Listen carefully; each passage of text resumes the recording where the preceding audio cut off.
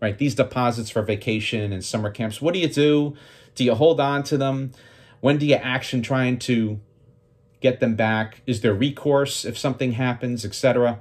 I think from my vantage point, this goes back to what I've talked about on previous episodes the warranty of the credit card.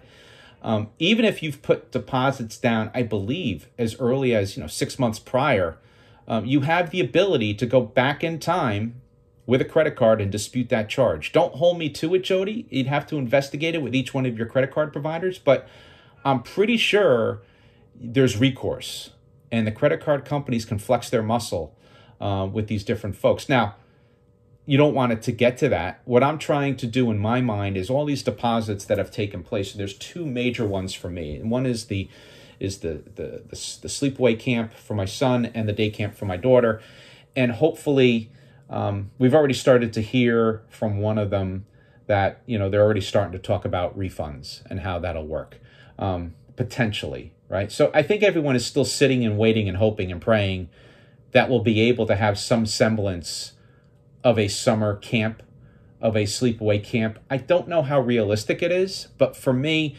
um, I'm trying to monitor and track those deposits very closely, and I'll have to deal with them as they come. I guess worst case scenario is whoever you put the deposit down with goes bankrupt and they go out of business. What do you do, right?